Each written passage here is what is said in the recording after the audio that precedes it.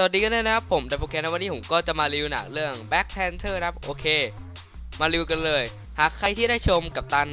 America Civil War นะครับคงจะได้คุ้นตากับฮีโร่ใหม่ที่อยู่ฝั่งเดียวกับโทนี่สตาร์กในชุดสีดำรัดรูปเต็มไปด้วยความคล่องแคล่วว่องไวอย่าง Black Panther โดยเบื้องหลังคือกษัตริย์องค์ใหม่ของประเทศ ที่คือชื่อว่าร่ำรวยและอุดมไปด้วยแร่ vibranium สำหรับภาพยนตร์ Black Panther เราจะได้รับชมในปี 2018 นี้ก็คือ เป็นเรื่องราวต่อมาของกษัตริย์องค์ใหม่ที่จะต้องรับมือกับศัตรูคนใหม่ และก็ศัตรู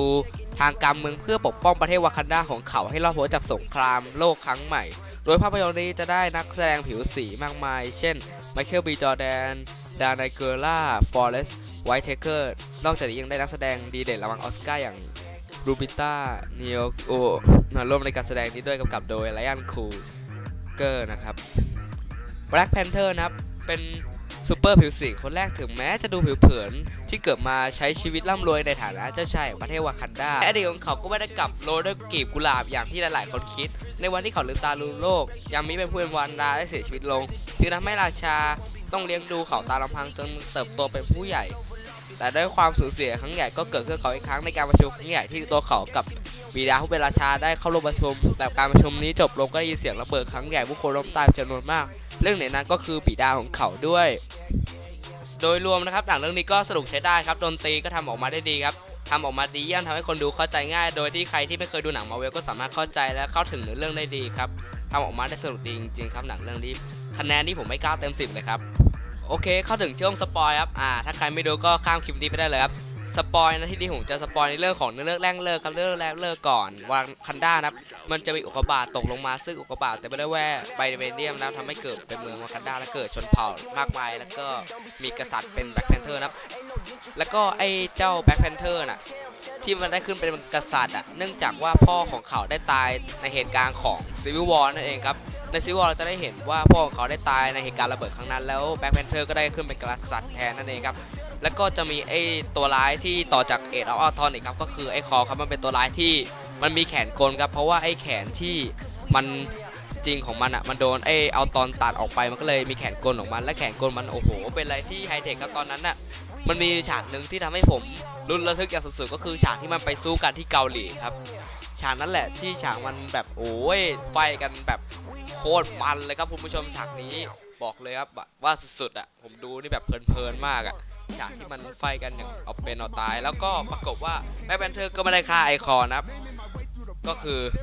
มันอะถูกเอาไปขังไว้ในห้องหนึ่งเว้ยแล้วปรากฏว่า แล้วแม่งก็ออกไม่ได้อีก เพราะว่าแม่งโดนระเบิดครับ โดยทุกอย่างนี้เอริกเป็นคนช่วยครับ เจ้าเอริกคิลมองเกอร์เนี่ย บอกได้เลยครับว่า โอ้โห มันเป็นตัวร้ายที่แบบกลายมาเป็นกษัตริย์ Black Panther คนใหม่ได้ครับ โคตรสุดยอดมีอยู่ฉากนะครับที่มันท้าดวลประลองกับไอ้ Black Panther แล้วแม่งชนะด้วยครับแม่งโยน Black Panther ออกไปตรงไอ้น้ำตกอะ่ะแม่งโยนลงไปในตรงน้ำเลยทำให้มันได้กลายเป็นกษัตริย์ Black Panther คนใหม่ แล้วพอมาทำพิธีที่จะได้รับ Black Panther นะแม่งเสือกให้เผาตรงนั้นทิ้งอีกโอ้โหน่าเสียดายมันบอกให้เผาทิ้งครับไอ้ตรงนั้นที่